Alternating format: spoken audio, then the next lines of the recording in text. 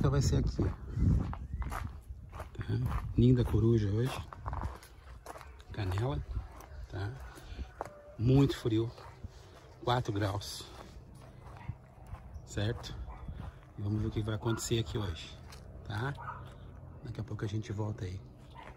Com algumas, algumas ações aí. Vamos ver se vai acontecer aí. Vamos lá.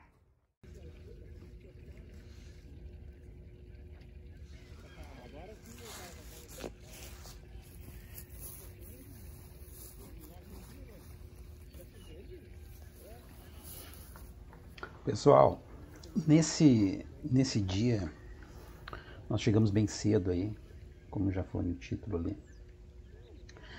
Tivemos uh, muitos ataques uh, na isca de fundo, elas estavam bem no fundo. Uh, nada de fisgada, praticamente muito pouca gente pegou ali nesse dia. Uh, anzolzinho offset, bem pequeno, com isca soft, um cotoquinho bem pequeno também. Foi uh, aonde lá adiante no vídeo vocês vão ver que teve uma captura né, de uma truta arco-íris.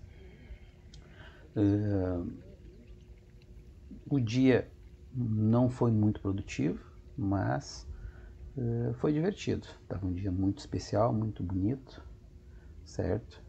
Eh, final do dia elas começaram a emergir.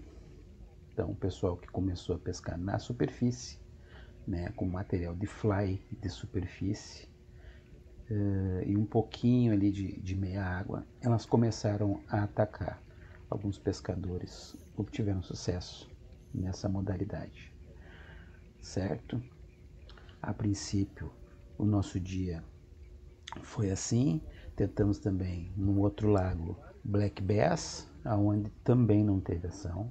A água estava muito gelada, muito fria mesmo, certo? Começou a aquecer um pouco a temperatura decorrer do dia, mas a água continuava muito gelada, muito gelada, certo? Mas foi um dia muito legal, num lugar muito bacana, muito bonito, lagos muito bonitos, certo? A recepção do pessoal do Ninho da Coruja também, muito especial como sempre certo?